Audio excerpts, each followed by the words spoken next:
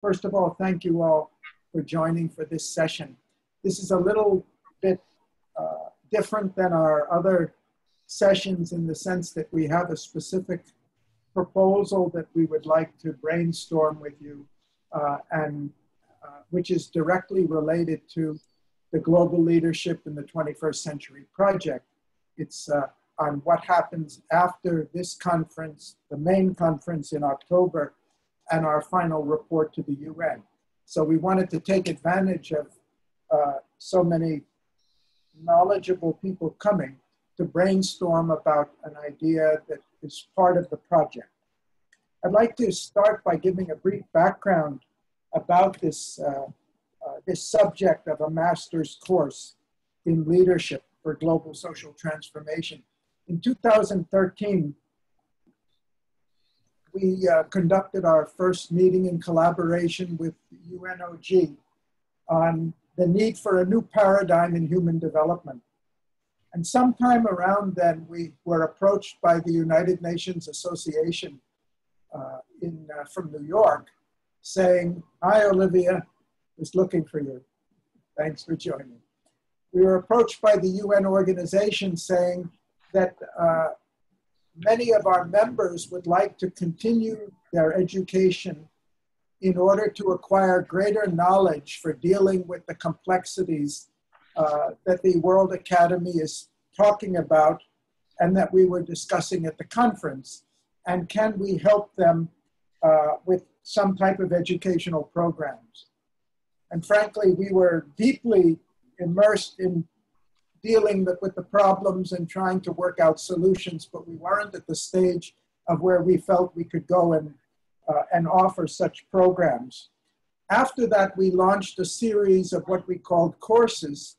I think it totaled about 15, which were really curriculum development programs within the academy and with a lot of outside collaboration on different facets of the issues we've been studying that we thought would be necessary to come to comprehensive solutions.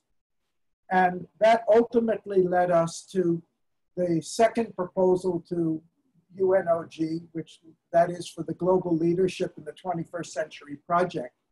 And this conference, the conference that's coming up in October, our final report, which we've agreed to write, and we included in that proposal the idea that as a result of this project, we would come up with some course material that could be used extensively, not only within the UN system, but with national governments, with uh, diplomats, with business leaders, with the heads of NGO organizations, with educators, with engineers and technologists, or anyone else because we realized the more we were working on it that there's an no essential knowledge necessary to understand what's going on in the world today, let alone the processes by which we try to effectuate change in the world. And we were not satisfied with the existing knowledge that's being promoted through uh, existing educational system. So this is the origin of this discussion. And our goal is to come up with those programs in the period after uh, the conference in Geneva and the final report. And I won't go into the, the, the, subject matter. I think you've all, I hope you've all received the outline. I wanted to just say something about the outline. The, the, rash, the purpose of this was to be illustrative, certainly not to be either comprehensive or final. It was written about a year and a half ago, uh, and it was trying to conceptualize what would be the difference in approach that we think is necessary to really prepare ourselves and other people for understanding and acting more effectively on global social issues. And this was the result of our 15 discussions that we held, uh, courses or curriculum development workshops that we held, fascinating learning experiences involving many people from different perspectives, multidisciplinary rather, transdisciplinary. And we realized that there were certain recurring themes, whether we're talking about democracy or global governance or economy or financial systems or ecology uh, or education. And all of these were core subjects of, uh, that we've been working on. Uh, that there were certain core themes that kept coming back over and over again. And that was, we came to the conclusion that the challenges we face today are very much the result of the way we're thinking and of the type of thinking that's being promulgated uh, through our educational system globally uh, at this time. The very idea of having specialized dis disciplines that fragment reality into airtight compartments uh, is itself contrary to the reality of the world we live in. The idea that we can talk about economy separate from political science or, we, or separate from ecology or separate from society uh, is, a, is a mental uh, artifice. It's not a real reality. And a, a structure of the theory on which our social sciences are based is equally very much compartmentalized as if we can really isolate the pure economic factors from the social, cultural, political, ecological, uh, and, and other factors involved. And so the need for integrality in thinking, as well as integrality in theory, because our policies, our institutions are based on the same kind of divisions. So we, we, we had two uh, very wonderful programs on the way we think and the evolution of the way we're thinking and the way we need to be thinking differently in the future if we're going to be able to solve these problems. We had programs on our educational system and the way we perpetuate problems by not only the way we've divided reality, but the theoretical framework on which that division is based. And we've been doing work with others on, on those. We found that whatever the subject we were coming up to, values, the power of values was a core that we could not escape, that the integrating factor for finding solutions that will really be viable was always based on a question of rights, values, and how those ideals get translated into practice in law, in institutions, and in action. We had fascinating discussions on the role of power and it's ironic that you can go through a whole uh, uh, course in, ec in economics without the word power ever being mentioned because power belongs to po political politics. Uh, but in fact, uh, the role of economy and the role of money in the way the world works, it in fact uh, affects everything. And when we look, the more we looked at power, the more we realized we're talking about the, the specific capacity of the society to solve its problems and how these capacities are interlinked with each other. So the, idea of power to accomplish was a recurring theme. The principle of organization. It was interesting that, uh, uh, that though we all use the word organization all the time, uh, that to really understand the role of organization in society and the way that uh, social organization is evolving uh, and the power that is generated by organization was a recurring theme that seems to permeate all the topics that we were discussing. We're calling these transdisciplinary themes uh, rather than uh, discipline-specific themes. And of course, uh, one of the characteristics of our social sciences is that we have tried to objectify them try to normalize them, try to reduce them to quantitative statistics so that we can measure them and be very scientific about them. And yet, the more we went into in our discussions, we found that the subjective dimension of reality, whether it's of the individual or the collective, was so powerful, so determinative, that unless we were going to make give that a prominence and recognize that the objective expression was the result of subjective perceptions, attitudes, aspirations, and values, we would not be able to understand the process. And I'm just giving these as examples to kind of reflect very briefly the kind of thought processes that we've been exploring within the academy, not trying to be comprehensive and certainly not doing trying to do uh, justice to them. Uh, in, in, I just wanted to frame the, the way we have conceived of this, uh, the need for this program.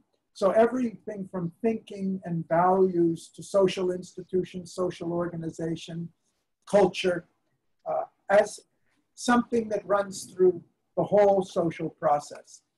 And when we came to the project on global leadership and what this is all about, we finally found ourselves uh, formulating the thought this way. Society has been evolving for centuries. It's been evolving for millennium, of course, but very, very slowly. It's been evolving more rapidly uh, in the last few centuries with increasing speed. And now we are at a point where the speed and the direction of that evolution, which seems to be happening by itself without the conscious uh, volition of humanity as a whole, certainly without the forethought and planning that we, uh, uh, by humanity as a whole, suddenly we're faced with the fact that if it keeps going on without control, without leadership, without much greater forethought and anticipation, that the consequences could be uh, quite devastating and even irreversible. And therefore, what we need is to make this evolution more conscious than it's ever been before. Uh, and we need to understand the process, not only of the evolution better, but we have to understand the process by which we can convert a subconscious process where nobody's in charge to a more consciously directed process. And of course, in practice, this is what we're trying to do. The world is trying to do through the SDGs, an unprecedented effort. We've never before had humanity come together and agree to anything uh, in 193 countries, uh, let alone uh, 17 goals and 169 targets. And this is one form of leadership. So the broad topic of our discussion is what can we do? What can we offer? We're not talking in this session about transforming the whole global educational system. Remus uh, helped us do that in the previous session, so all those problems have been resolved, as far as we're going to do them today anyway. Uh, we're taking a much more modest goal.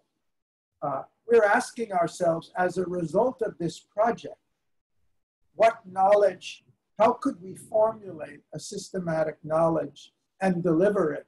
We have talked about a master's course because that was our first thought, this may have many, many different forms in which uh, it, may, it may go. But what we're interested today is not so much the form as actually the content uh, that should go into it and how we can draw on existing knowledge and, uh, uh and get your thoughts and experience on how we might go about it and how we may collaborate with others in, in doing it more successfully.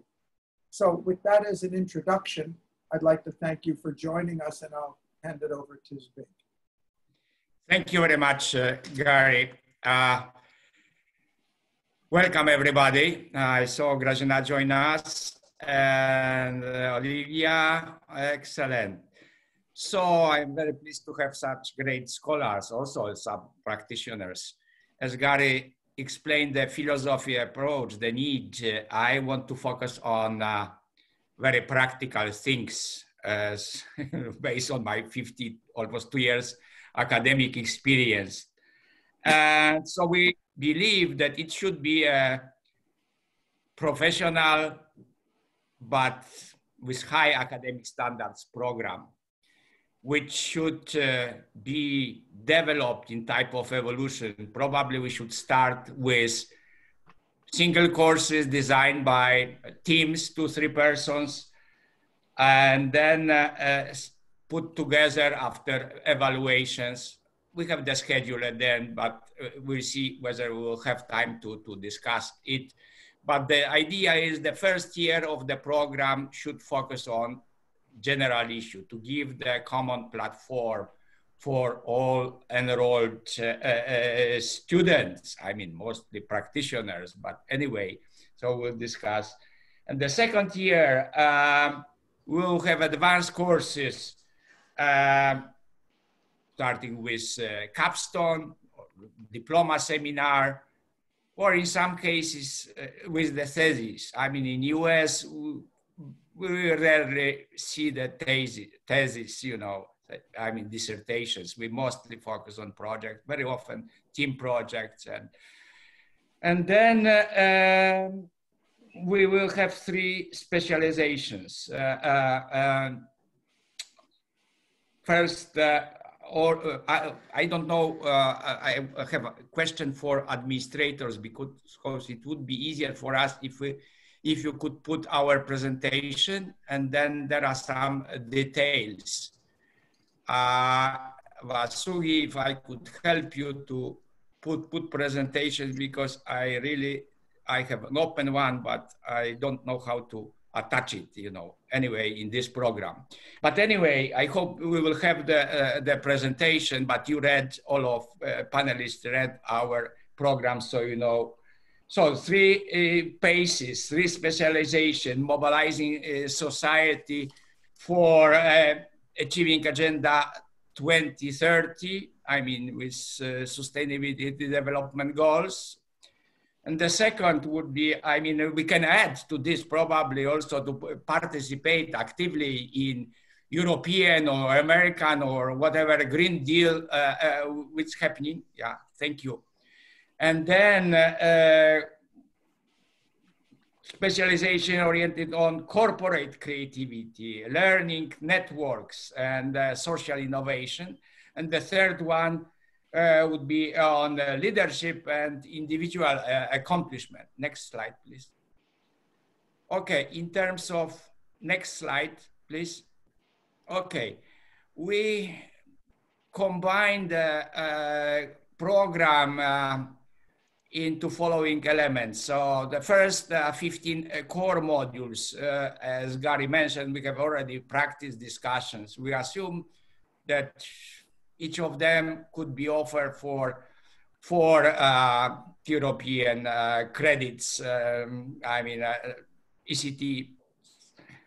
Uh, these are multi-dimensional, multi-dimensional uh, global challenges, untapped resources, engine of global development, anticipated consequences of social awareness, evolution of the technology of social organization, human rights, values and culture, social power, man and social power. Next, please.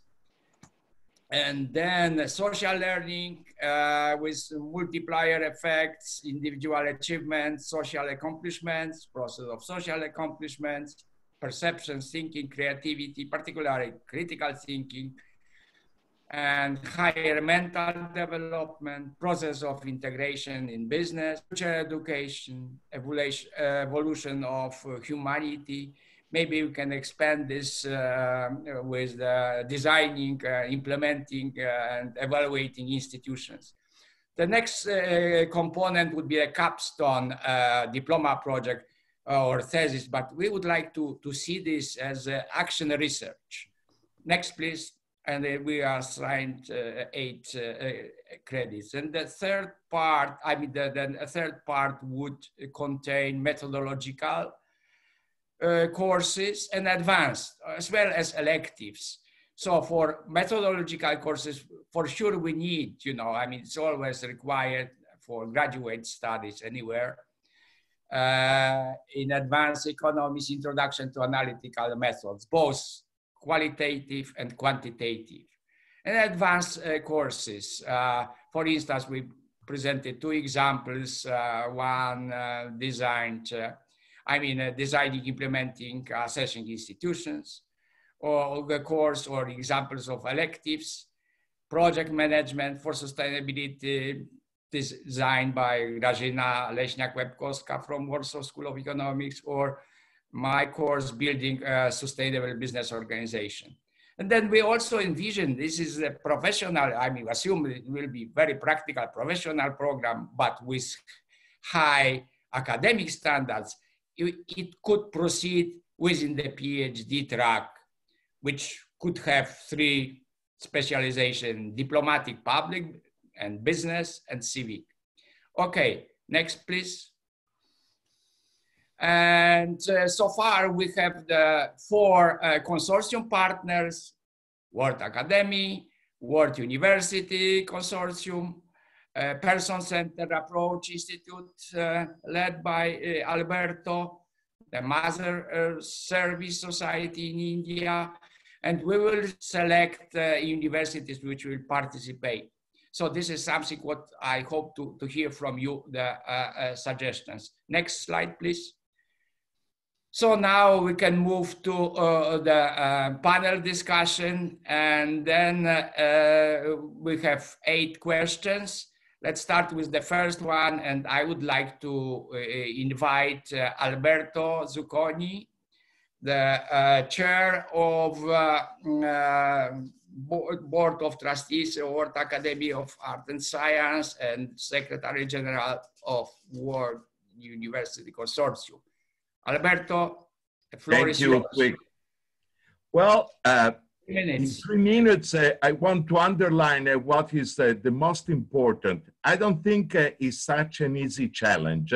I think uh, it's a very meaningful challenge and a high risk of failure. In my opinion, uh, will be a failure if we don't think about being transparent of the pedagogy and the you know, social construction that is behind the offering in such a course. In other words, no matter what, any course has an embedded pedagogy and any pedagogy has embedded value. We need, in my opinion, to make that explicit. In other words, we need to walk our talk. Then I think that the student body and the teaching body, I would propose uh, more than a professor and teachers, uh, facilitator on learning. That is not less rigorous. Uh, actually, the research show that uh, you can achieve more than traditional education. And I think uh, we should have uh, equal amount or as much equal as possible of women, men, people from different culture, and hear different voice. So it's not going to be uh, a replication of some, uh, you know, tipping. And also the issue of power. The issue of power, I think, is relevant.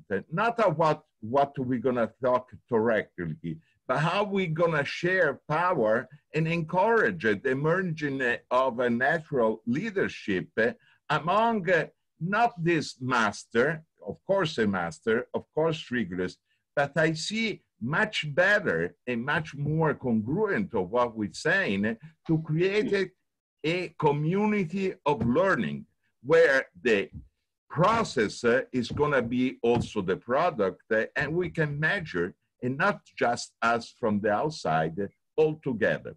So I think, uh, and I am excited to participate. And when uh, I say participate, I am greedy. I hope I'm going to learn more than I can teach. Thank you, Alberto. You stick really to three minutes. I appreciate. And uh, next, I would like to uh, ask Remus, who, who, had some time constraints, to be sure that uh, we hear your voice. Okay. Remus? Thank you. Very happy to. Are you there? Okay. Very happy to be able to participate to this uh, session. Garry introduced to me some years ago uh, the idea. Also, the idea was uh, presented uh, briefly to Geneva last year when we had a, a first meeting with the member states. Uh, let me start in my first intervention with uh, two stories. One very short story. One is uh, um,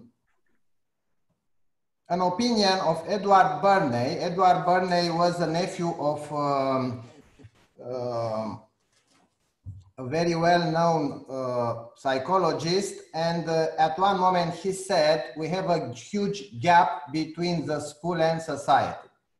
The, in fact, the school, is, the school is lying.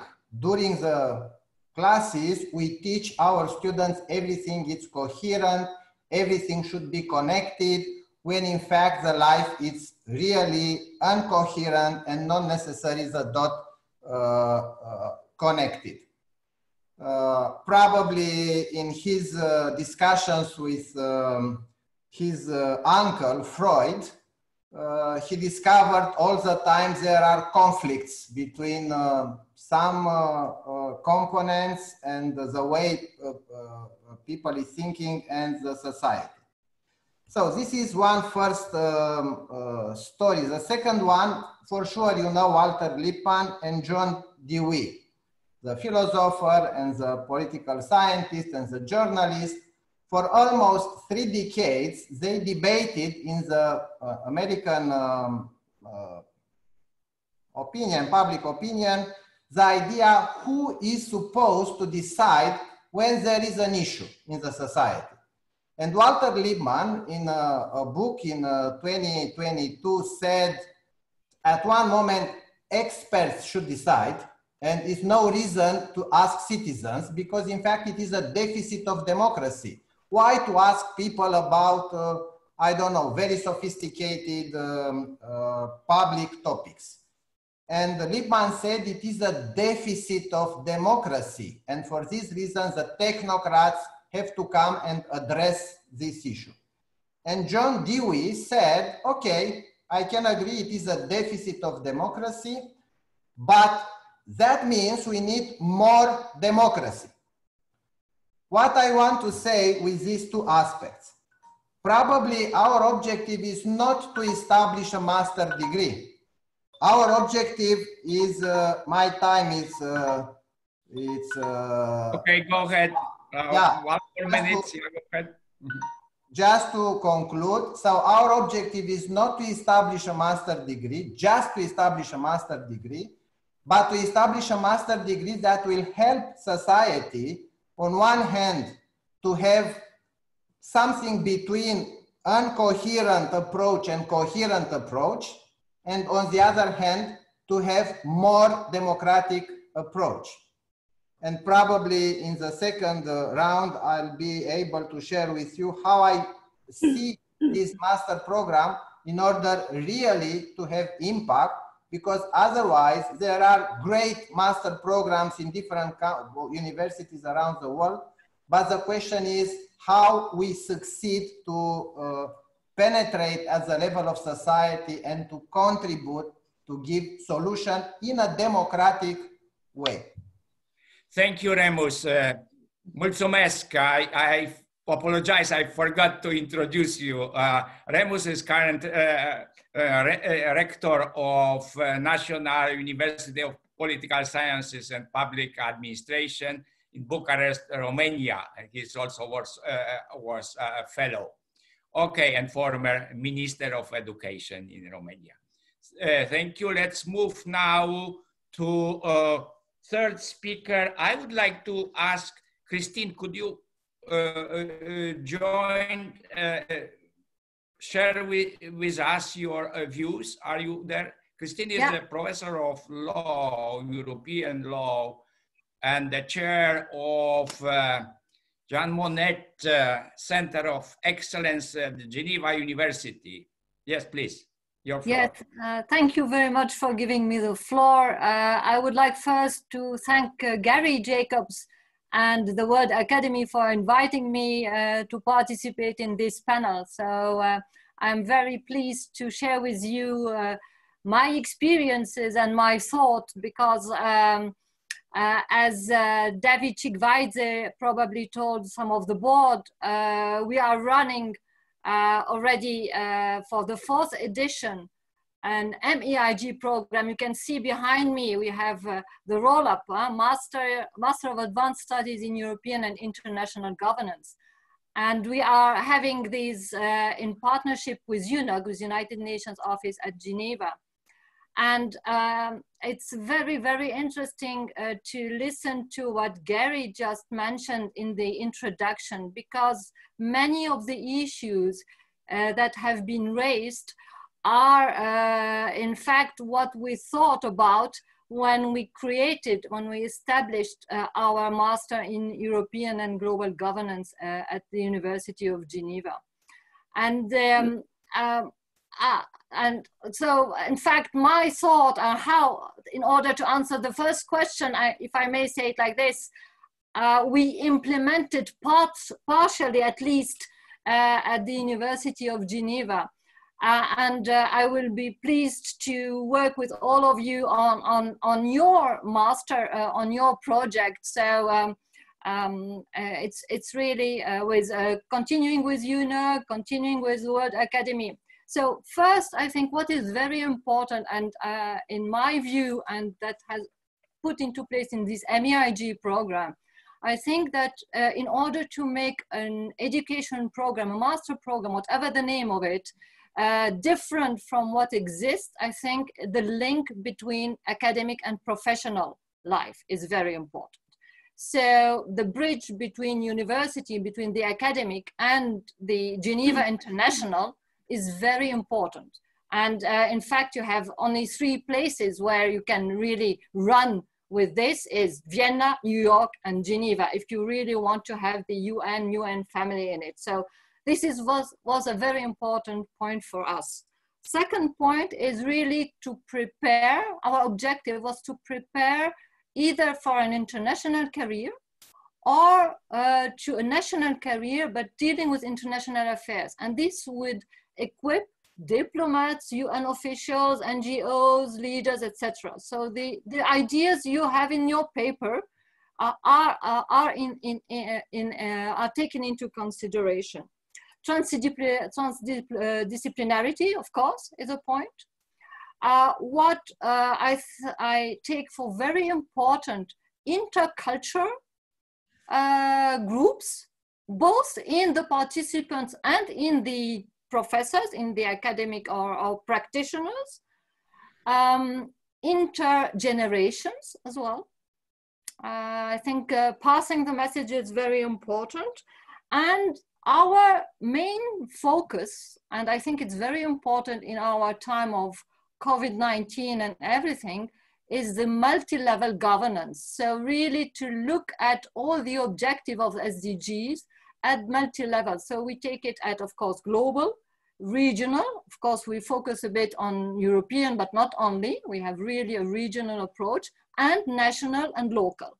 So it's really, I would say these are our main focus, uh, a part of practical skills. Practical skills are the basis. So link between academic and professional and then make the bridge between the two and the diversity as I mentioned. But I don't want to take the floor for the first my first intervention too long and I can come back with, with other issues. Thank you. Thank you. Thank you uh, very much, uh, Christine. So first of sharing with your experiences and also for your readiness to work with us. So we can learn from you and from your uh, institutions a lot. And uh, thank you for support of this idea. Okay, let's move to the second question, uh, and then I will ask uh, uh, um, Benno uh. Benno is uh, a professor of the Friedrich Schiller University in Jena, Germany, and he is also UNESCO chair for the understanding sustainability, area which is very close for me. Okay, Benno, it's your floor. Yeah, thank you very much. And um, hello to everyone.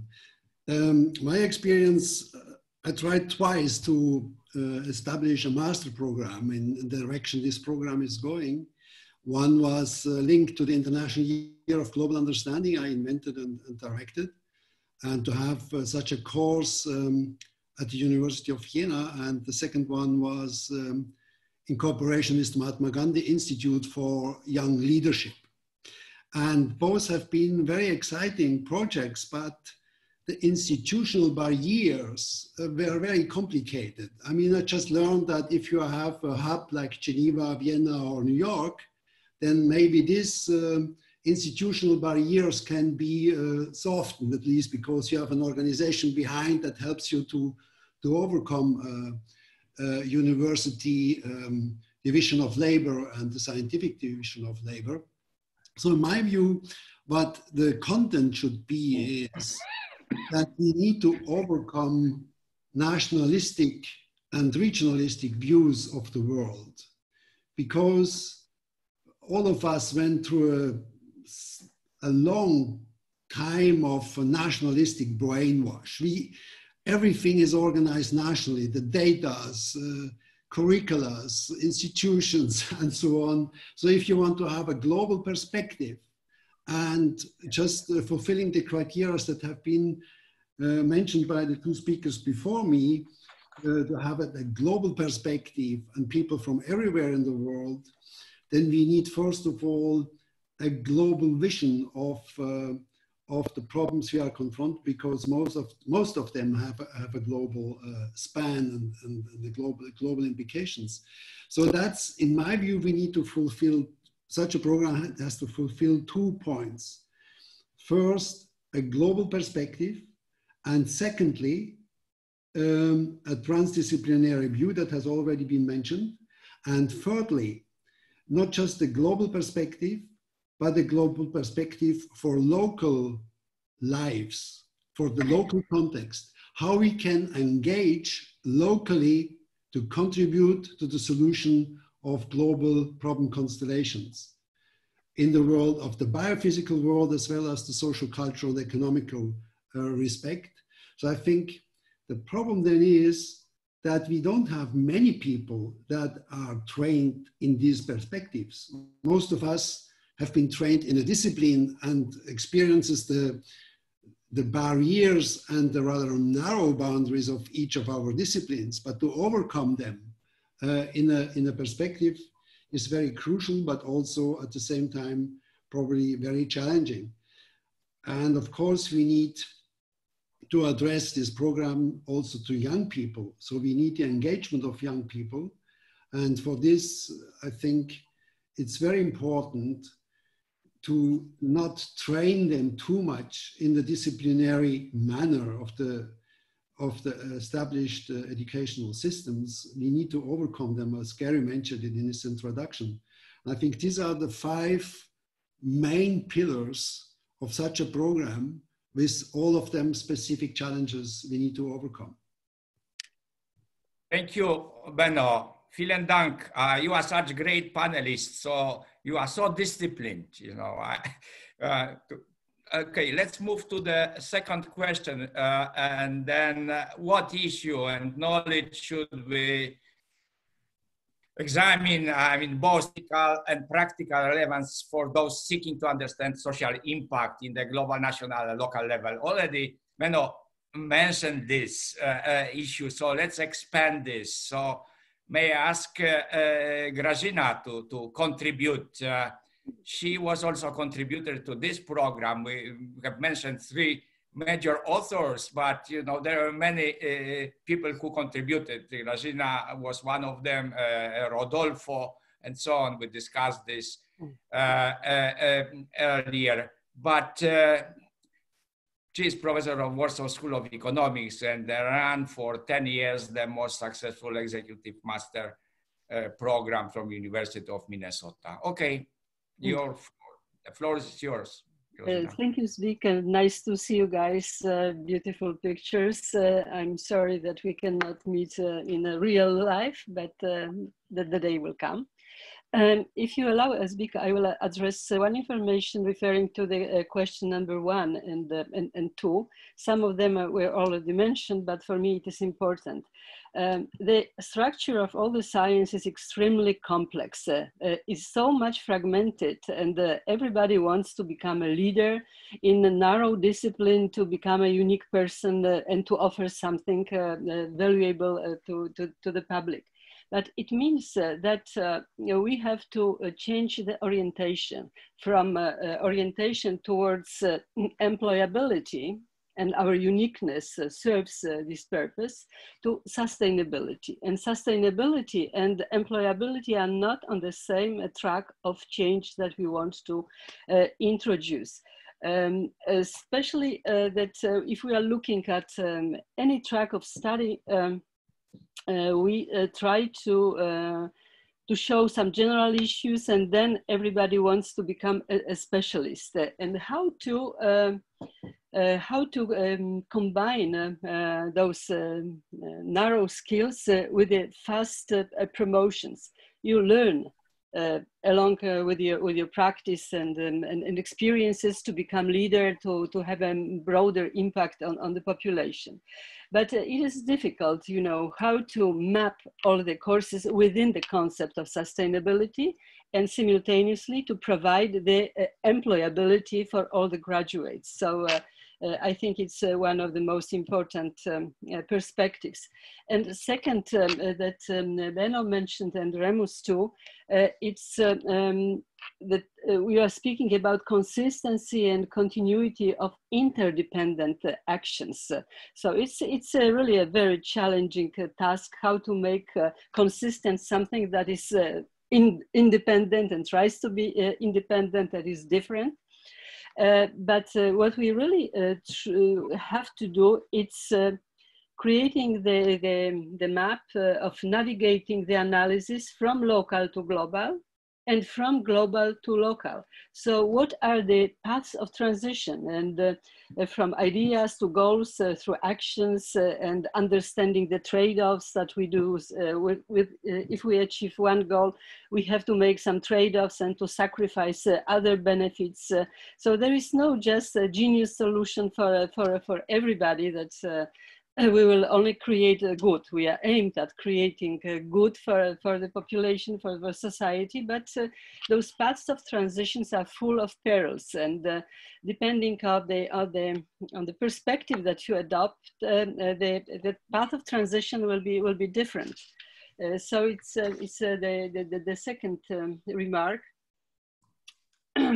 And another thing is uh, what should be uh, protected, uh, like uh, for instance, uh, cultural heritage that shouldn't be any, any trade-off. Uh, so it, it's not substitutable. Um, we have to um, focus a contingent um, approach to, to everything. So there are so different contexts of our actions that there is no just one, the same situation for every country, every um, every industry or every domain of, of activity.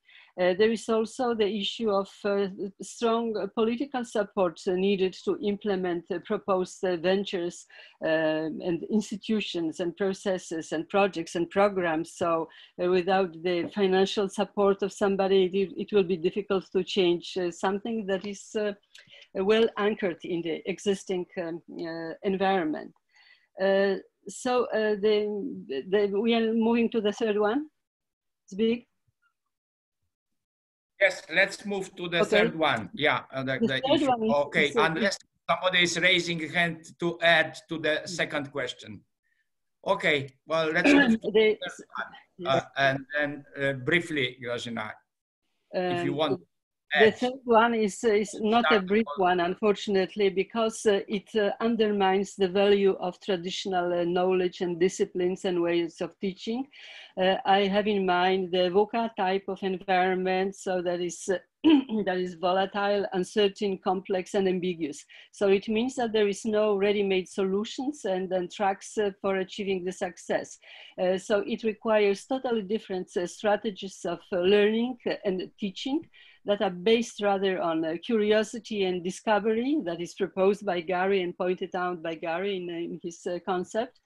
Uh, and uh, uh, it, it always should verify and test the value of existing knowledge. It follows in line with the concept of Glaser and Strauss of the theory, building of the grounded theory, that we have to we have to be skeptical about the values of existing uh, theories and we have to undermine them, focusing on the specific uh, problems, uh, uh, issues that we want to, to progress with.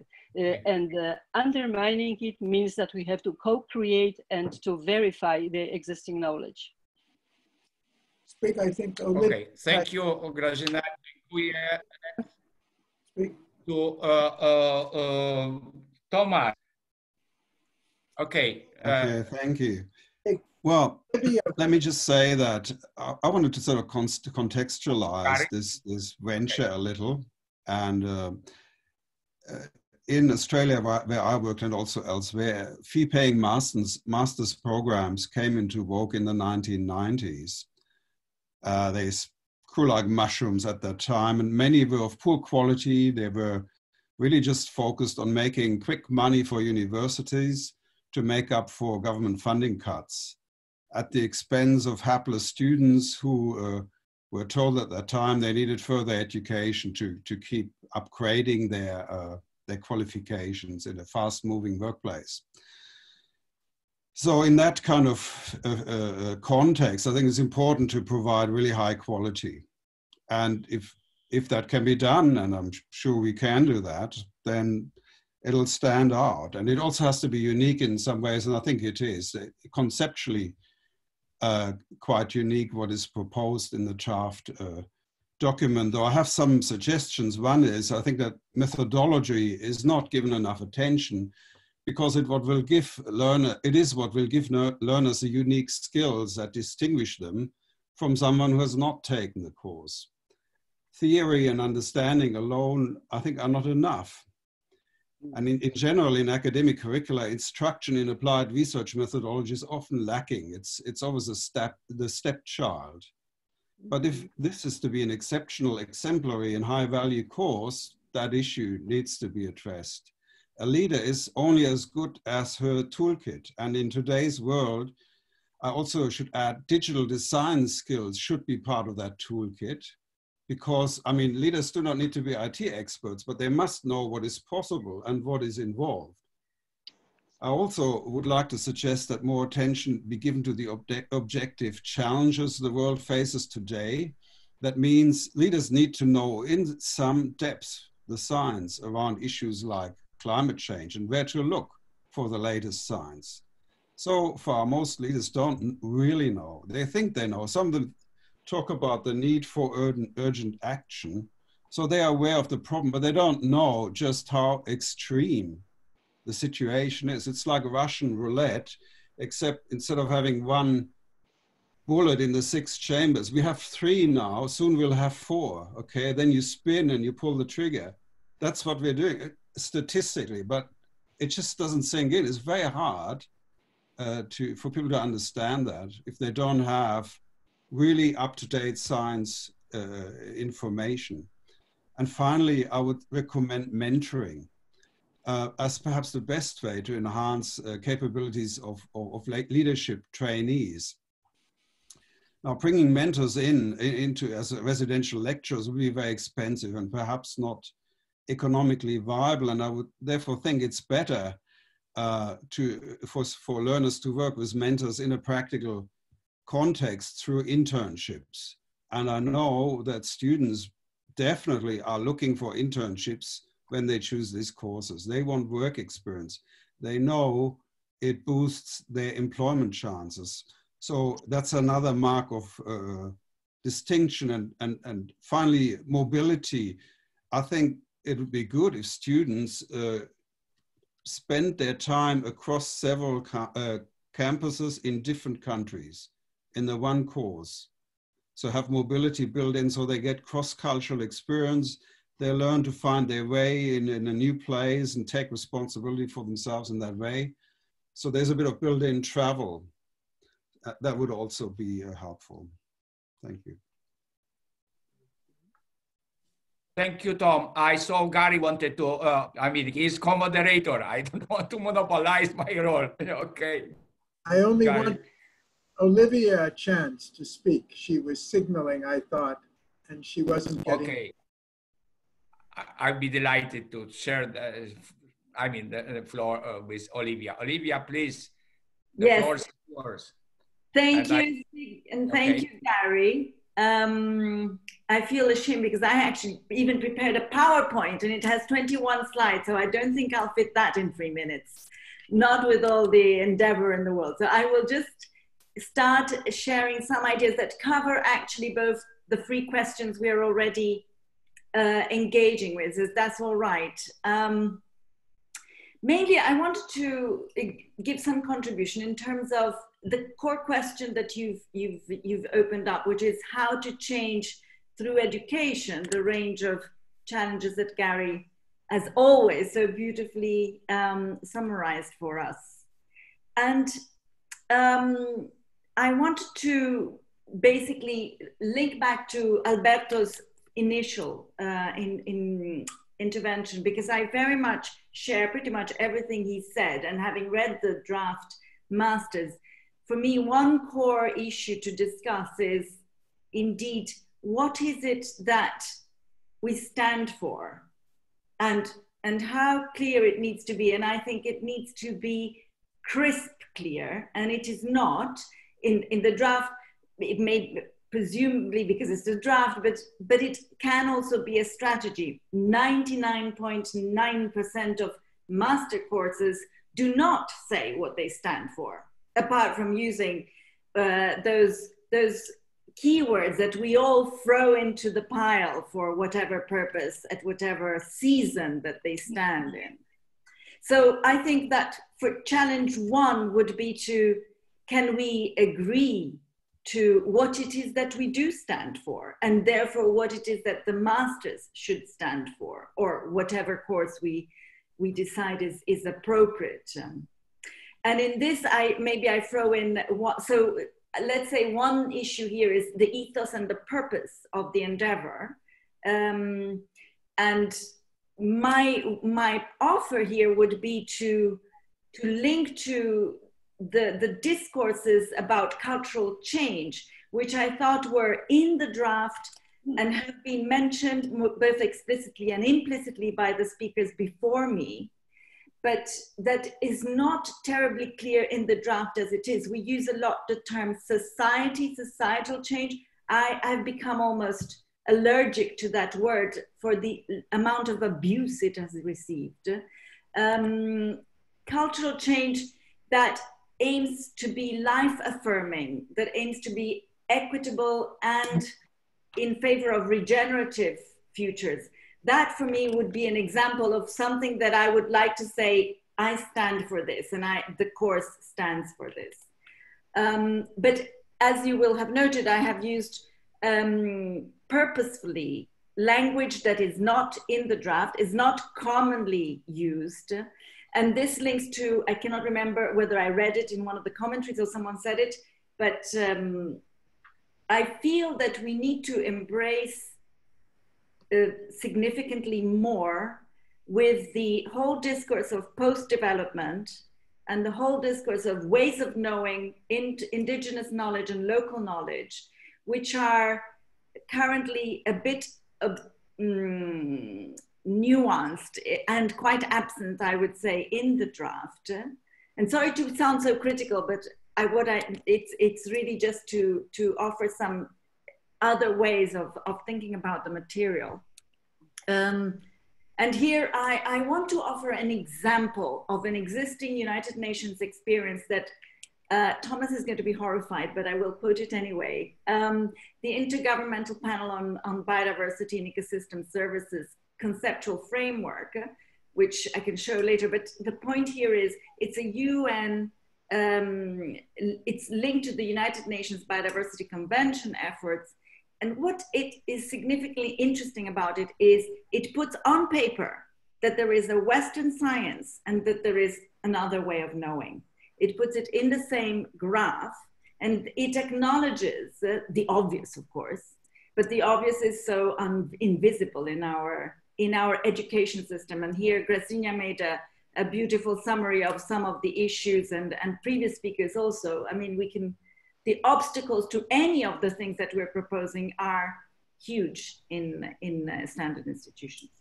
So I, I, I, think I'll leave it to the Eastern purpose. I have several other things, but I just wanted to open up with this uh, link. I think I'd like to just comment here if I could, because Olivia's comments are so important and so relevant. Uh, and it makes me laugh a little because when I look at the draft and I see uh, that the core on which the whole thing is based is not explicitly stated. Uh, and I'm, I'm wondering how that's possible because Alberto knows in everything we write, the first thing we're talking is human-centered value-based. And somehow in writing this draft, I mean, the whole basis, because we've been doing this for six years, every course we talk, about, every idea we talk about is human-centered value-based sustainability. And you're absolutely right. A, when I look at the draft, I don't see the, I don't see it explicit. Uh, and uh, uh, maybe because we've been talking to the same people for so long. Yeah. yeah. Very important. I just wanted to reinforce what you said. Absolutely important. And thank you for, uh, we can be blind. Pavel, I think you're, you have something to, please, go ahead. Uh, can I'm, I just add one thing, Garry? Thank you. I, I'm, um, very quickly, the, another thing that struck me in the in the in the draft is we seem to embrace uh, complexity in a way that I find problematic.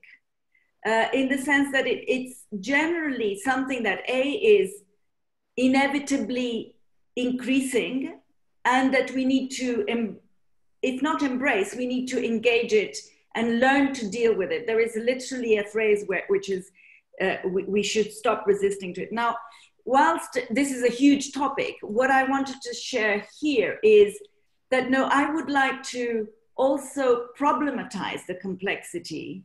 Um, and I would like to suggest afterwards, I can send this material. There is a Canadian scholar on peace studies, uh, Thomas Homer Dixon, uh, who worked on synchronous failures. And his treatment of complexity is incredibly problem, uh, problematized in a way that I think is very important for, the, for a course on leadership with this ethos. Um, so that we, and, and, because of what you just said about your work with Alberto, indeed, if to, to be very sim simple, hopefully not simplistic, uh, a master's course of this kind would probably have to see itself as addressing two very broad different types of drivers of change. One relating to everything that is outside the self and the person, which are the institutions, the problems, the sectors, and so on. And the other, which is the person and the psychology, the spirituality, the consciousness. And you touch on both, but, but perhaps by clarifying that there are these two bodies that are, of course, interdependent but they're very different targets, normally not treated together in a, in a master's course. That was one of the things that I thought was very powerful in the draft. Thank you, Olivia. Obrigado. I forgot to introduce you, uh, maybe international scholar, Garry, and then from uh, now working with Portugal, but also in Italy, in Hong Kong, worldwide. This is why it was very good reminder for us. We, it was so obvious for us what uh, we are stand for that we forgot to explicitly express. Garry?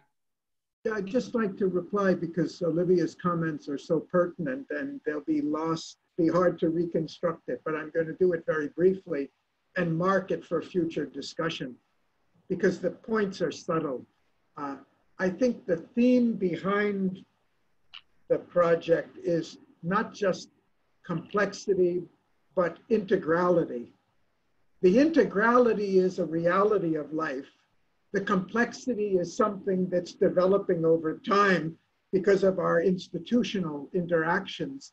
And uh, so, uh, but what we're basically arguing for is the integrality has always been there, but we have academically abstracted it and divided it the complexity is evolving uh, and both need to be addressed.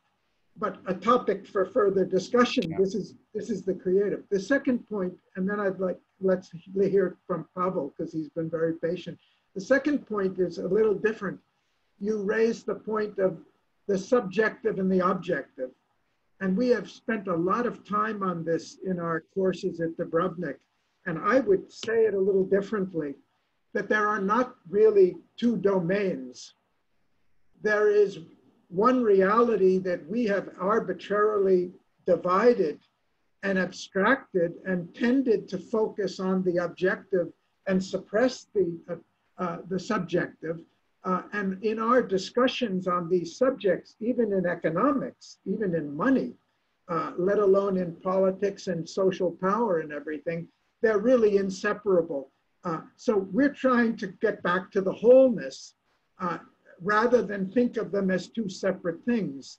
And incidentally, because you talked about traditional knowledge, I will put on the table the fact, you know, we had two programs on mind thinking and creativity uh, in which these issues came up. The relation of the objective to the subjective, of different ways of knowing uh, and all. And uh, uh having moved from California to India many years ago, uh, uh, where I really re recognize, learned from a different culture, the fact that the, uh, the subjective is there in everything. And it was so different than what I had learned in California at UC Berkeley when we were taught, taught about an objective reality. And this has been a, a constant discussion in the academy on these programs. So I think you're, I'm just coming back to the last point you made about different ways of knowing. Uh, we do need a different way of knowing that's much more synthetic, that takes into account the perspectives. I don't even want to call them cultural specific, uh, specific, but the fact that we that a lot of what we're taught and teaching is by one cultural bias, which uh, is not the way the whole world views things. It's a very complex issue. But just flagging it for future discussion, not for resolution. Pavel, please. Yes, thank you very much. First of all, um, I wanted to breach this uh, this uh, line of discussion we have here with uh, a session we had this morning when we discussed education for societal transformation and what should be the different form, forms of embracing new models of leadership through education. And one of the conclusions from that panel was that we actually need to move to a new model of leadership. The idea of shifting towards leadership that is distributed, that is inclusive, that is spread all across the spectrum of society, that transcends the uh, oppressive models of leadership towards the, the post-oppressive one, the inclusive one that will be not Eurocentric anymore, will not be anthropocentric anymore, but will be more, let's say, truly global, if we're talking about global transformative leadership. And in that regard, one of the questions that we held in that session was, what if we have to create programs and le uh, learning spaces where we don't yet know who are those designated leaders for the world? So in that regard, if this program is in service of the global transformative leadership, what is that role that it can play? And maybe one of the roles that we need to look at is the new epistemology that is required to hold that new model of leadership. So rather than to see this as a, as a space where these designated leaders are preparing, we can see the program as a way of creating the space that enables many more leaders at different levels in different places to step in. So in that regard, we require where academic can play the role. It can play the role to uh, intellectually empower and, and, and support uh, this transformative leadership, uh, methodologically develop different tools for, for these leaders and create certain infrastructure for leaders. And these are three particular roles that where the, such a program will be required. And if we say we are focusing on epistemology, the ways of knowing that are required for the new model of transformative leadership to happen, we certainly need to look at issues such as social construction of knowledge, non-rational, non-Western ways of knowing, including maybe not only Eastern traditional religious, deeply rooted in Hinduism or Chinese systems of knowledge, but also indigenous way of knowledge. Uh, but in addition to that, we need to look at emerging ways of knowing, such as collective intelligence, so data science, artificial intelligence, and to see how we can synthesize those to actually create new ways of knowing for a very complex world where on one hand we are able to hold this for humans but how can we also hold it for all the planet? To be inclusive to non-humans to other entities to the planet itself to other species. What are the tools that support conversation and inclusivity for all entities on this planet to work together to the new model of global governance. And I think that would be, uh, that can become a space to actually ask this kind of questions and to create tools for it. That's, I think, what can be the role of, the, of this program. Thank you. Thank you, Pavel. Spasiba. Uh, so uh, Jon-Hans uh, wanted to join us. And so let's focus on questions three and four. Uh, in fact, you know, we cover almost all the questions uh, uh, step by step listed on this slide. Go ahead, Jon-Hans. Um, After that, Janani, please. She's also trying to speak. Okay, good. After Jon. Okay, but, great. But Thank you very much. I would just like to really amplify and to um, assess what Pavel, Thomas, and Olivia were saying, um, because when I look, here we are, and we are talking about um, leadership. Whose leadership? Um, we we are the majority of us um, connecting today, um, we, we do not represent China. We do not represent Africa. Where is the voice of the Middle East? And I think exactly to the point that you mentioned, Pavel, I think if we want to say that we are truly inclusive, I think we need to make an effort to um, bring in um, those voices um, because when we take leadership, um, and, and I think we can um, debate and we can articulate and we can look at uh, paradigms, but whose leadership? It all depends from where you stand and how you're going to look at all these different paradigms and theories. Um, and where I would like to um, ask us to be a little bit more um, less focusing on where we sit in terms of universities and the higher diploma, I think we need to look at the dual track. Yes, we can influence the debate, we can contribute to scholarship, but we certainly can facilitate and create debate. Where we can facilitate, it is not going to be an easy discussion because in reality, what we are going to do is to directly, in a way, challenge the conventional wisdom of how much so much of the academic practice and how um, power um, it goes straight back from uh, uh, Kant, and now Kant uh, framed uh, the rule of law, natural law versus um, man-made law, and, and we are in reality going to challenge that. And I just think the more inclusive we are in the consultation and that we can include, and, and this is where I just want to say, Olivia, hats on.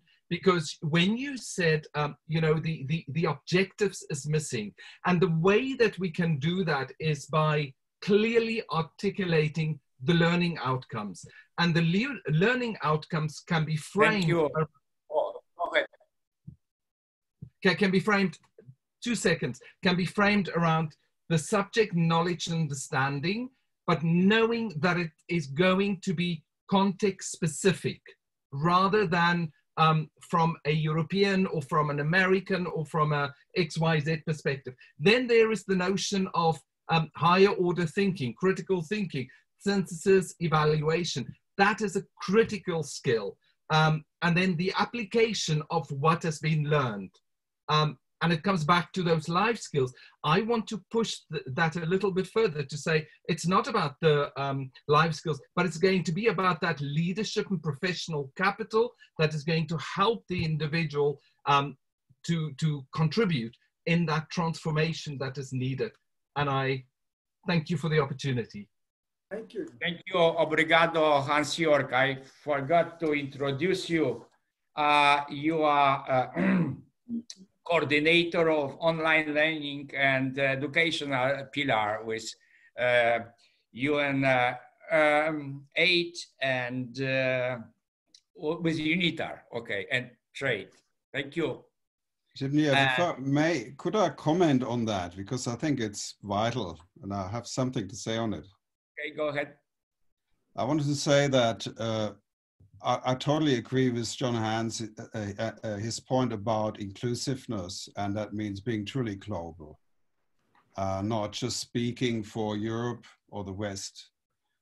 And uh, as someone who's worked in Asia for the last 30 years, I, I, can only laugh at some of the perspectives that people come up with. They just do not know what's going on there. They just do not know. So we need to, and it's where two thirds of the economic action is now in the world. It's ridiculous, but it just keeps going. It's, it becomes increasingly embarrassing. But I wanted to say the vital issue, especially if you look at places like Africa, if you want to be inclusive, it becomes a matter of funding. And I think that one of the distinguishing features of this master's course should be that those special people who, who teach there and the special people who come to learn there are the, the first group well paid and the second group should be at a minimum fee or free. They should be selected on merit and with total inclusion. And that means we need external sponsors who fund the institution or provide scholarships. Otherwise, it's, it's not realizable. And I've been thinking about how that could be done.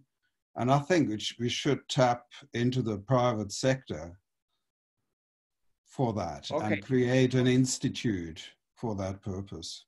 Yeah. Thank you. Thank you very much, Thomas. Let's uh, talk, uh, ask uh, Janani about inclusiveness and her uh, perspective from India uh, to, to help us to understand better the needs, you know.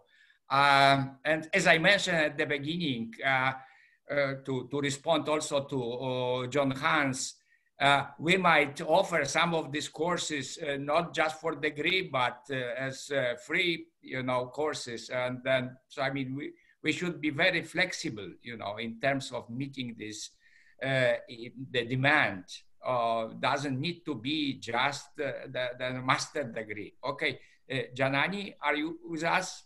Thank you speaking yes. Please. When we talk about our future course i believe all that is taught in what we design, it needs to be contextual, relevant, based on life, the students' own lives. When students can relate to what they are learning and know why they are learning what they are learning, it becomes relevant, real. Today, we have many, many students asking, why do I need to learn this? How am I going to use this? Of what use is this going to be to me, to anybody? That question is not going to arise when they are shown when they are able to see to some extent at least how they're going to be able to use what they're learning such as you know for a, for a greater social benefit. When youngsters see a purpose in what they're being asked to learn and do they begin to enjoy the process because learning must be a joy and it is not one now not to many many youngsters. So we need to link learning to life. There is an abstraction now a, a vertical fragmentation between the different uh, subjects, a horizontal fragmentation between the learning and the learner. So we need to bridge this gap so that the students can relate personally and collectively to what they are learning, relate what they are learning to their lives, to the lives of those around, to society. Then that way, I believe education comes alive and alive. And this, this life can differentiate it from, from a lot that is being offered to students uh, today. There is, there is a quote from uh, an Indian spiritual book, there is no waste in nature. So for this question that, uh, that I think you, you displayed some time back, what knowledge should we focus on?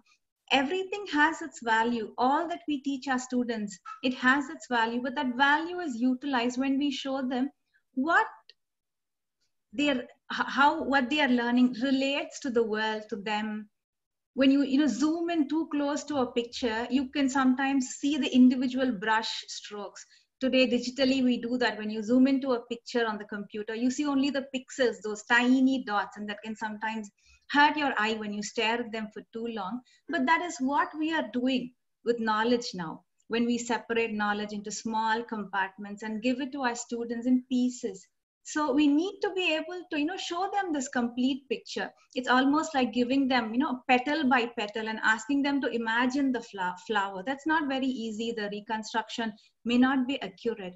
Some of our speakers talked about uh, integrated thinking, transdisciplinary thought. Our, our students, our future leaders, they need to be uh, capable of this integrated thinking so that they don't adopt a piecemeal uh, approach to solve a complex problem. And that is possible when through our teaching, through our course, we give them that bigger picture, let them see the whole and how their part fits in. So it enables uh, them to see their role in the world. They're better able to understand social processes when they see the bigger picture. And that understanding empowers them as well to make an you know, impact in society. And specifically in the Indian context, I would just like to add that uh, liberal arts education and flexibility is not something that exists. It's not at all prevalent. It's only in, in a very few select places. And sometimes the students have to select a course, uh, a set of subjects at the age of 15. And after that, there is not too much flexibility allowed to them. And so I believe in what we do, we need to inculcate that, you know, flexibility, a liberal arts, a greater exposure so that uh, integrated thinking starts with the way we teach. Thank you.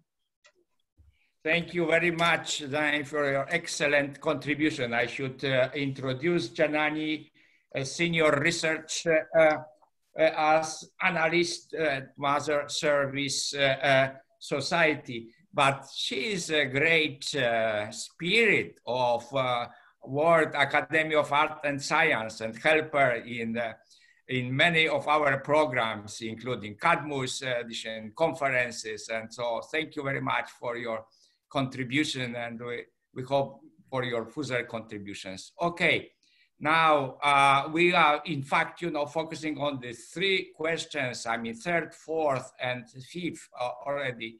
Uh, Garry, would you like, I see that you wanted to, to, to say something.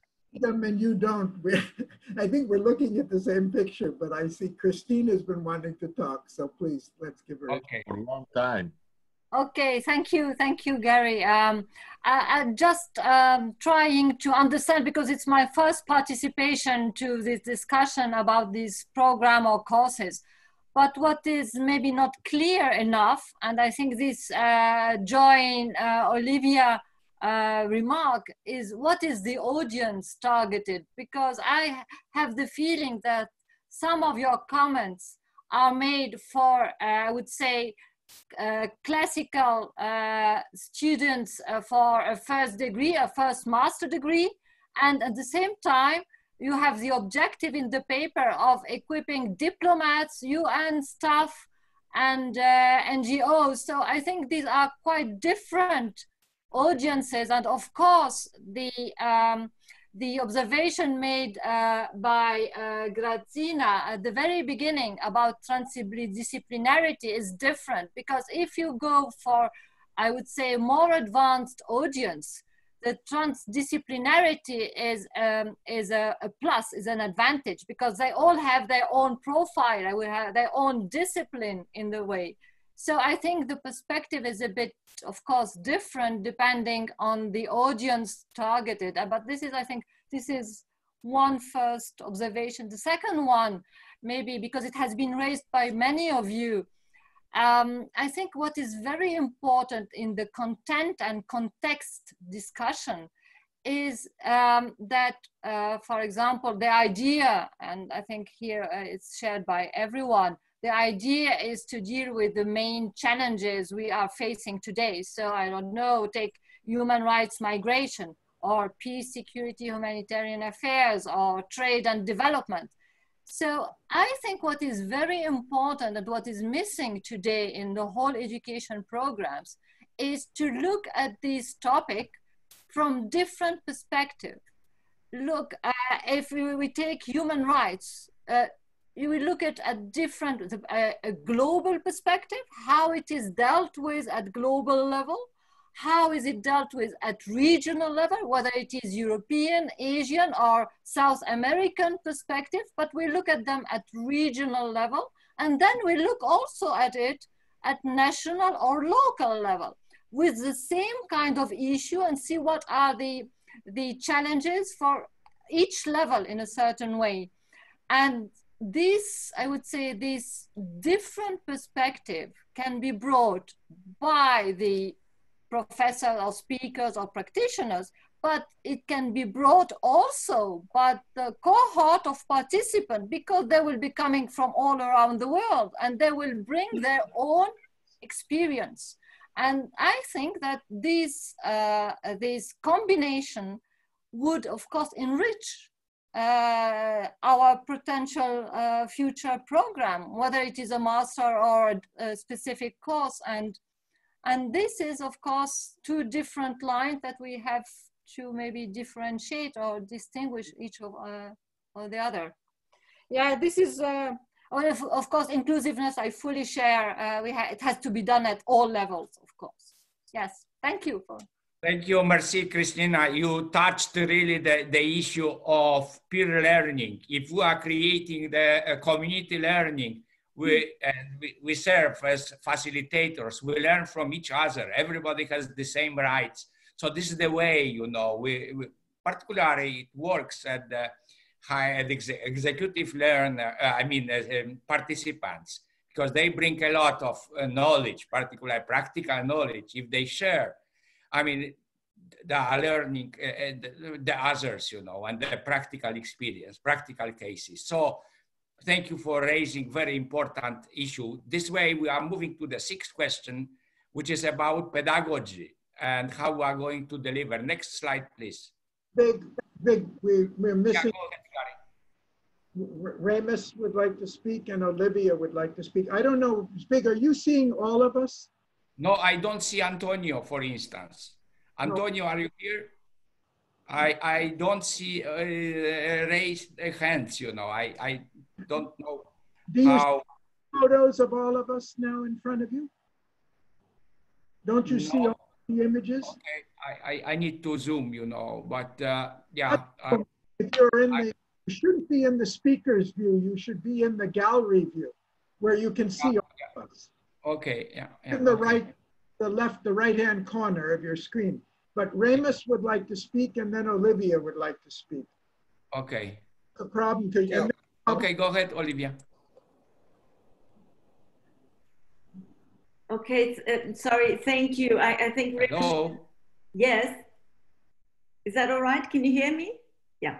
Yeah. So I just wanted to follow please. up on Christine's uh, uh, um, suggestion uh, with an additional provocation because I really liked her uh, emphasis on the need to tackle the topics that we do tackle or the challenges and from different perspectives. And an additional proposition could be um, to be to totally and and truly embrace something that is rarely done the the epistemol what I like to call the epistemological humility that we should uh, cultivate, and therefore the embracing of in, in, indigenous and local knowledge, as well as what we broadly call the Western scientific paradigms of, of knowledge.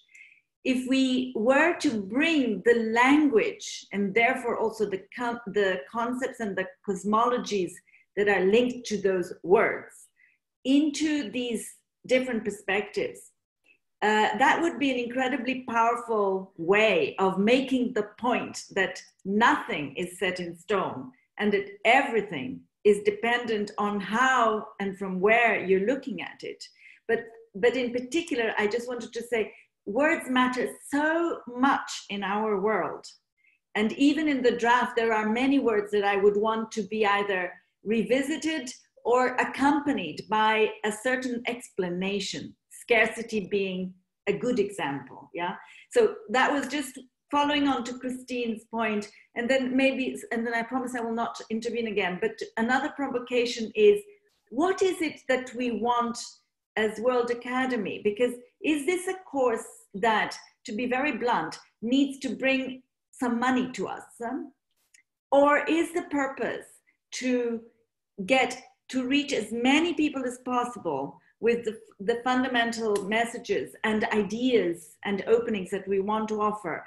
If it is the latter, I think that COVID's period has proved that um, online teaching is immensely powerful.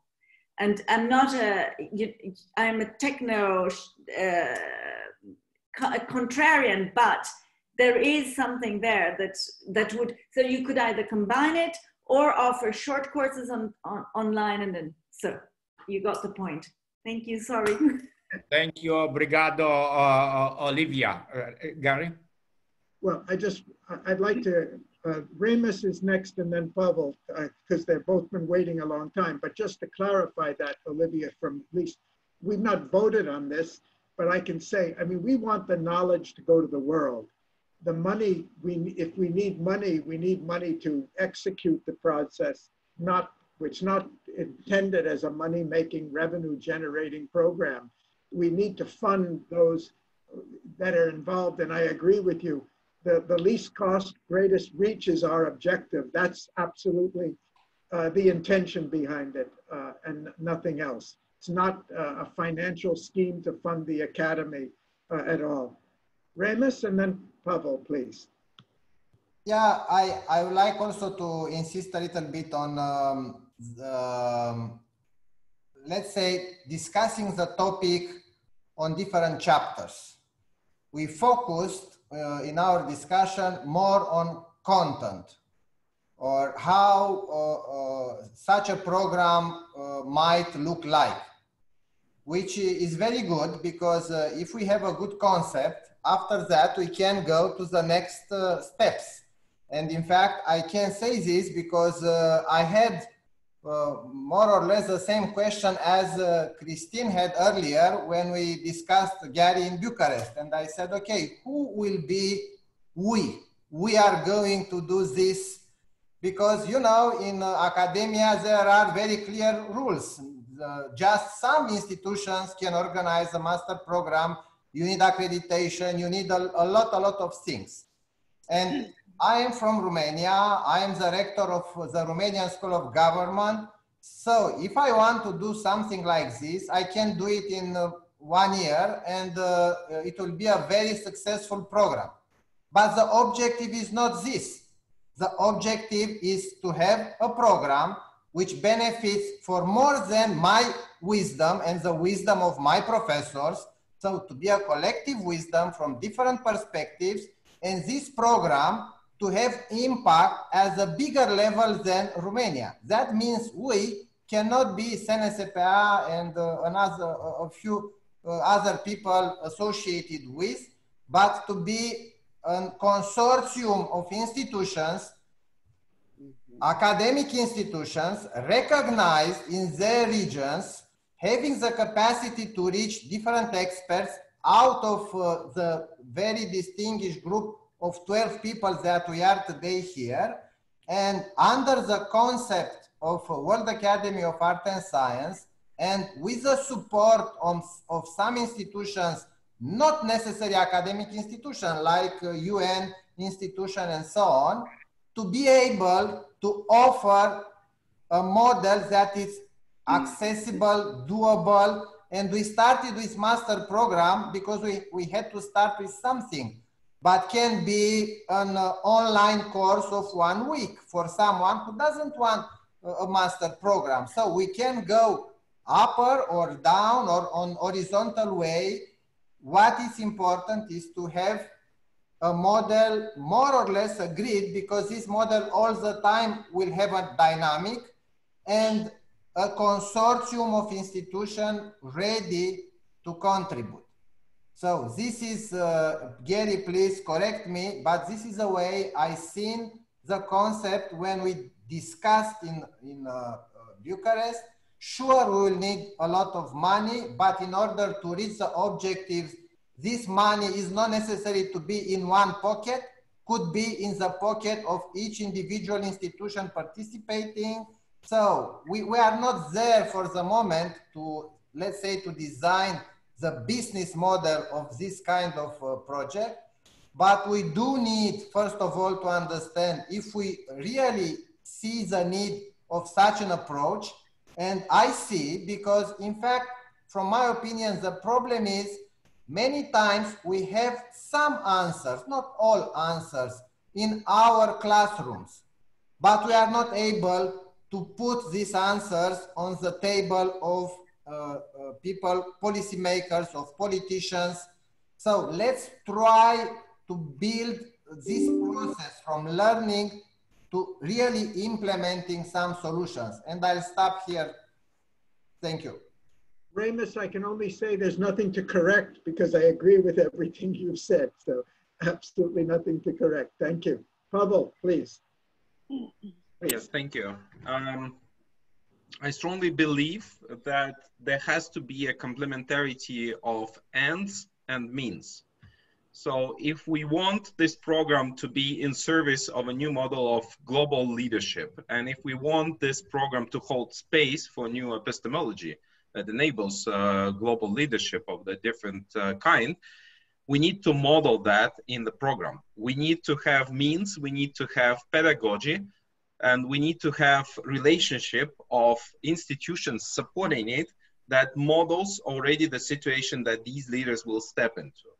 So this means that it cannot be purely academic. It has to be a distributed effort that brings academia in partnerships, not only with established 20th century governance institutions, but many emerging institutions, NGOs, movements, uh, companies, startups, acceleration spaces, da da da. Second, it has to be very experiential and it has to be a place where this knowledge is co-constructed, where it's actually built, where data is accumulated, where new principles are practiced. It's not just an, another program. It's a, it, we have to model a way of being in the program. Uh, I agree that it has to use online capacity and spread the word as widely as possible. But more than that, we need to focus on building up the collective knowledge uh, space where by uh, the effort of uh, program participants, knowledge is co-constructed and uh, uh, each new batch of the program, maybe it's a continuous, we need to discuss this, but it's kind of building up the collective knowledge. It's not just professors distributing to teachers. It's not a banking model, as Paulo Freire would say. It's a, it's a co-creation model. So all of these principles have to be there. And I would emphasize very, very much that it has to be about experience, direct experience of human beings as whole human persons. So it has to emphasize all of these aspects. And I think without that, we will be still in the old paradigm and this will not be a program for global transformative leadership. Thank you. Great, thank you, thank you. Uh, uh, Zbig, uh, we have had a lot of questions from Anne Snick, who, uh, Anne Snick, uh, Anne, uh, can, um, can we promote you and hear from Akshay? Can you uh, allow Anne to come sir, on? Uh, sir, sadly, Anne has left the meeting. I think she joined the next session. Okay, okay, thank you. Uh, Zbig, we have another question. We still have a little time. We're running to the end of the program, but uh, if, if the, we can take one more question, or is there anything that somebody would pressingly like to say in response to what we've already discussed? Because we've discussed. If, if I may, uh, uh, Garry, I wanted to respond to Pavel because I really agree with what he said. Uh, it's really important. And leaders are not the kind of people who need to be told what to do. What they need to learn is how to find out themselves about any information, any knowledge, that they need to deal with matters as they arise. And I would therefore recommend keeping the fixed content, content to a minimum and designing uh, group research tasks that provide self-managed learning experience. It's what they uh, call active or participatory social learning. And all the evidence in pedagogy today shows that it has the, the most beneficial impact on learner outcomes. May I? Zbig, may I? Yes, of course, Grażyna, please. Hi, Garry. Uh, thank you. Um, uh, we are in a pretty good situation because if there is no um, standard for such a program as we are going to create, uh, uh we have a full freedom. So this, uh, this is uh, one thing. So we don't need to be too much backward oriented and to look at uh, how other programs were created because we have to create something, something new. So if anybody has has not experiences, so the, the, our focus should be rather on um, recruiting the best uh, and the, the, most diversified uh, team of people uh, who are interested in the field, uh, who are uh, creative, uh, who are angry for success. So they have those hungry minds. they want to create some, something valuable. And uh, mm, the, the, problem is that uh, we don't need to tell them, you know, the, the, whole pedagogy, how they should be taught, because nowadays when I'm looking at how students uh, learn, it is not necessarily our uh, lectures and not books. And personally, I love reading books, but uh, the majority uh, issue, the, the, the, most important issue in a their path of learning, if we refer to young people, is uh, the keywords that they can Google and find uh, what is the, the, the, variety of opinion sources that they can find in internet and they are looking at the dates whether they are contemporary uh, opinions and nobody looks at the older ones except from historian of course because they, they are always backward oriented and they have to uh, to read uh, the, the, facts uh, from the history and try to find their um, updates uh, the, for in, in, the new new history.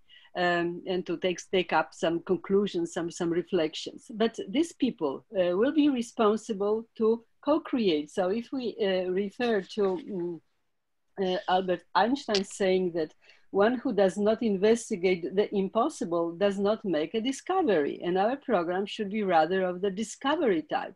So they will propose a set of uh, rules and ways how they want to learn. Uh, but the capital that um, uh, that we will be basing on is uh, their erudition, their knowledge, their passion to act, passion to discover, and passion to share. so um, um, I have some experiences from the program that Zbig mentioned at the beginning when we were um, introducing the executive MBA program uh, to Poland um, uh, at the time when there was a very traditional system of education and the MBA standard did not exist. The, the economy looked totally uh, the, in totally differently. So uh, the question was, what will be the value of such education? Uh, first of all, we had a fantastic partner. so uh, I, I, think that in this community, we can count on very, very important and valuable and prestigious partnerships. Um, uh, so this is this is always already uh, done. And uh, second, that the the standard we will create the standard. So we don't need to look for the existing barriers. Uh, if we have uh, the, the followers. So there is no leaders without followers. And in case of, of, of the WEMBA program, there was a number of people who were just curious what type of education we can offer to them, uh, how it will be perceived by potential employers, or what businesses or what types of activities uh, or institutions they could set up by themselves. And it really worked very well. So uh, the standard after some time was accepted because uh, there was uh, a number of employers who want to, to, to, pick them up immediately after graduation. And those people show the immense um, um, portion of activity and, uh, and um, um, propensity to change uh, the existing um, practices in business. So uh, we still have contacts and I see that um, the, this is the power of good examples. So if you create something valuable and if you have those followers, then you don't need to take care about, you know, other uh, barriers, uh, how they refer to existing curricula or to uh, institutions, um, restrictions and, and, and so on. So I'm very, very much optimistic about uh, this new proposal because it's different and people are looking for something that makes them different and, then uh, allow them to be um, um uh, the, the, leaders uh, and um, no, just differentiating from, from the masses. So this is something that is needed. And I also want to point out that uh, sustainability is much more popular in the younger generation. They are very sensitive to those issues. They want to have the the safe uh, future, uh, and they don't want to leave all, all this future to, to, to those who now set up the rules. They want to set up their own rules and the, mm, the, the, the, situation is that so we don't know what will happen, like happened with, with the COVID-19, uh, because there is a lot of unknown unknowns. So you don't know what will happen. So if we do not create the patterns of behavior that are aimed at discovery, aimed at cooperation, aimed at sharing uh, what you already know with others uh, who know something else and mixing this knowledge uh, and uh, convincing each other about uh, the, the, the, value of uh, some parts of thinking, so there will be no value of the program. So this uh, this confrontation of different aspects is, uh, I think, the most valuable um, component of, of this model of teaching. Thank you. Uh, thank you for sharing this question. It, it, it, goes very deeply with what I feel also, that uh, what the world needs today is not more, the specialist that has become the standard uh, is no longer the uniqueness the person who understands the wider context is the person who has something unique today and, and an invaluable perspective. Just an anecdote to illustrate this. I had a young woman who uh, worked with us in India for a year. She was a computer scientist working at a big international company and she was bored and she left it. And she spent one year studying issues like this broadly speaking, and the same company hired her back at twice the salary. not to do the not to do the customized specific specific work that she had been doing, but to train others to how to think out of the box and to solve problems and innovate and uh, and look at new opportunities. So I think uh, it's a very exciting possibility, and uh, thank you for what you said. Uh, I think that we've used up our time. Anybody with an urgent press, I want to thank you all for rich discussion. Janani. Thank you, too. Just a very, very brief comment. We need to liberate learning from the forms of evaluation and accreditation that we have designed and largely used today, not the traditional you know, tests and exams and the grading of students based on what they write in two or three hours, as is the case in India and many parts of the world as well. So we can adopt a, a, way of evaluation that reinforces learning. There are several best practices already that we have studied as part of our endeavor to design the future education in, in the World Academy and the World University Consortium. So we can you know, revisit these and adopt the best of these practices in what we offer. Thank you. Yes, Jon-Hans, please. Unmute yourself, please. Unmute. Can you unmute? Ah. Just to, to build on what Jenny um, was saying is, and I think this is also important that we, because we talk about online, but I think there also needs to be a discussion how much of the um, program content. oh dear. Well, go ahead, we hear you. Um, it, it, needs, you know, will be um, asynchronous and synchronous. Um, and should we not also look at um, the potential of um, micro learning using mobile technology? Because in, in again, if we look at the, um, the Middle East and China, um, the individuals that we are hopefully going to be identifying um, will not necessarily have the time to um, spend a year sitting in a class or um, so so so that flexibility of the engagement is really important. And it's again how we facilitate that learning. And and i think in parallel um, to the point that thomas had mentioned maybe it's also important that we start looking at funding mechanisms because that's always the area and um, the work that i do in in um, creating, designing, and delivering um, these online um, master programs for the United Nations Institute of Training and Research. That mm. can very quickly become your Achilles heel. So it's really important to have those um, financial partnerships to ensure um, that you're in a comfortable position and the way you can then offer these programs um, in a sustainable way. That's the only contribution. Thank you. Thank you. Thank you very much. Thank you. Anyone else? Zbig, would you like to close the meeting then? I think we've had a wonderful discussion, very useful yeah. discussion. Thank you very much for bringing so many interesting issues and reaching this. And I also appreciate that everybody participating in the discussion, presented his her commitment to work with us, which is very important. We want to expand the number of people involved.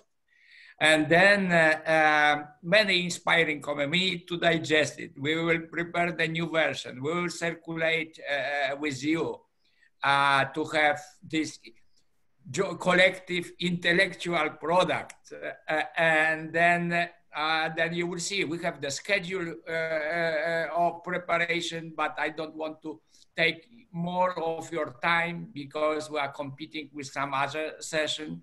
And you are a wonderful participant, creative, and then I see the energy for something really new, something which does not exist. So there's new challenge. And uh, Pavel mentioned, you know, look, you know, we need to, we have such new challenges. We need to have a new product to empower people to change, to deal with constant change, with complex system. So thank you very much, everybody, and uh, looking forward to see you in uh, working on the next uh, uh next uh, stage. Thank you very much. Goodbye.